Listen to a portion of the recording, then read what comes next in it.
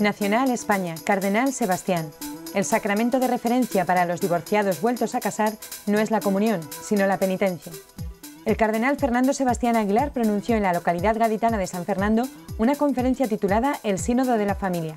El purpurado advirtió de la necesidad de mejorar la catequesis familiar y prematrimonial para evitar que se produzcan ceremonias que son una farsa y no bodas auténticamente religiosas. En relación a la cuestión de la comunión a los divorciados vueltos a casar, el cardenal manifestó estar en contra por ser una situación objetivamente contraria a la ley divina.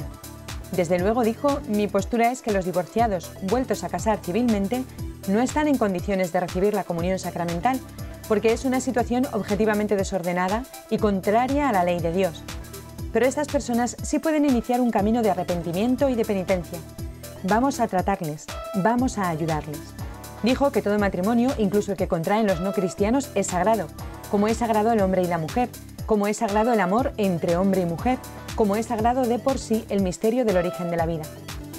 Don Fernando pidió igualmente acompañar más cálidamente, de manera más cercana, a los nuevos matrimonios, dado que el ambiente actual empuja a divorciarse fácilmente.